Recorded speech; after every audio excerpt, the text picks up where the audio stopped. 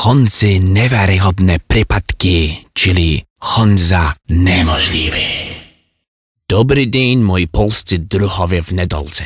To znowu ja, czyli Honza, całkowity nagubiony, przyjezdny czeski umordowaniec. A czemu to ja taki nesvieži osobowo? Ano, tako se vydařilo, že zmilil se profesie i netrafil do zubowej lekarki, co miała ekstrahowane uczynić, tylko do... Ach, ja to już nie mam do stu aksamitkowych krteków żadnej siły ani vzduchu w tej Polsce. Co kroček, to pomylka.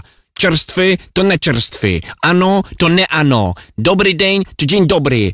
Jako ja mam tu ubytować i do prachu w pełnej radości powrócić, kiedy ja se ustrachuję, że ja nie używotuję do następnego poniedziałku? Skąd to mnie na przykład wiedzieć, że czerwone i ludek na stojaka to je neprechodzić przez zeberku, a nie wprost odwrotnej, he?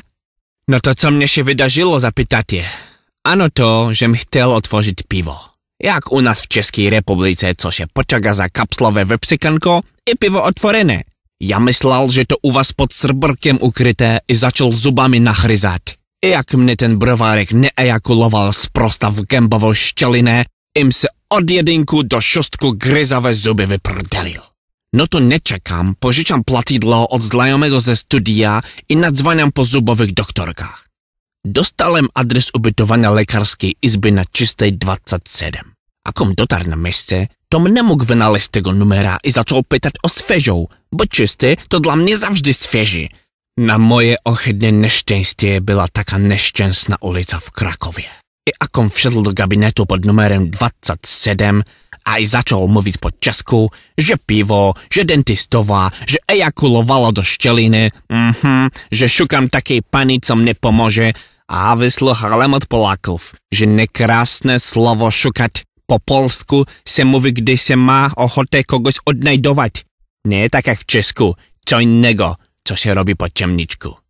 No i ta ona holka, co była w holu, jak usłyszała, co ja gaworę, to strasznie się uchachala a powiedziała, że ona już mnie kompletnie a momentalnie rozumie, czyli że ja chcę szukać dentystku i żebym wstąpił do gabinetu i poczkał.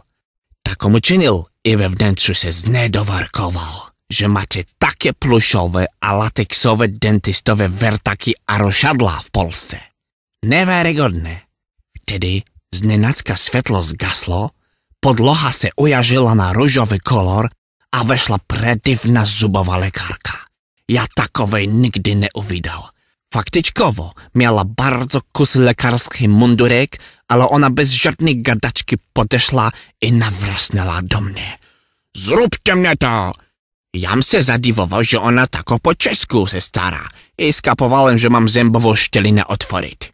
Taką uczynił i umknął pod sidla, aż tu nachle. Jak ona mnie za ku...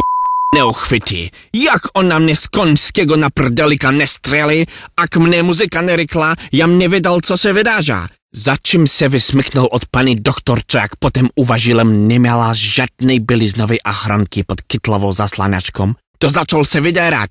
Co to chorwa se nadarza? Co je to? Ty mnie nie możesz za k***ta uchwytywać, bo mnie w zuby wystrelilo, a nie fajfusa. Ja se na policję to zgłoszę. Wtedy ja nie rozumiał, co się dzieje. I wyskoczyłem na hol i zacząłem szukać. Tfu, no! Nie szukać, już nigdy szukać w Polsku. Chciałem powiedzieć, uwidywać wystupu z tej chorej kliniki. Niestety, ta sprytna pani doktor zdarzyła mnie galoty naluzować i podczas tego mojego szalonego wybiegu po korytarzowych prestrenach, żem się wyplaskał na facjatę. A następne, co se upominam, to że mnie bierze w ruki wielki koksownik i czepia mną o ulicę, a mówi, żebym więcej do ich przybytku nie zawitał. Jam go upoznał.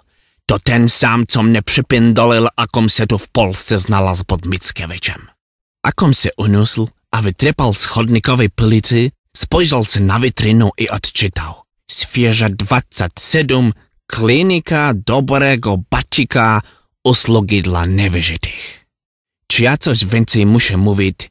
Nie powiem, póki sobie zubów nie wprawię. Tylko nie wiem, czy następnym razem ja dentystę preżyję. Polaku, ty mnie powiedz i napisz u spodu, jako tu żyć. Jakim cudyczkiem tu se mam zrozumieć w polskim świecie, aby powrócić do mojej ukochanej Pragi. Bo piwo tu dobre, holki krasne, ale z nich dotychčas ja mám vytraskané gryzače a boląceho Honze.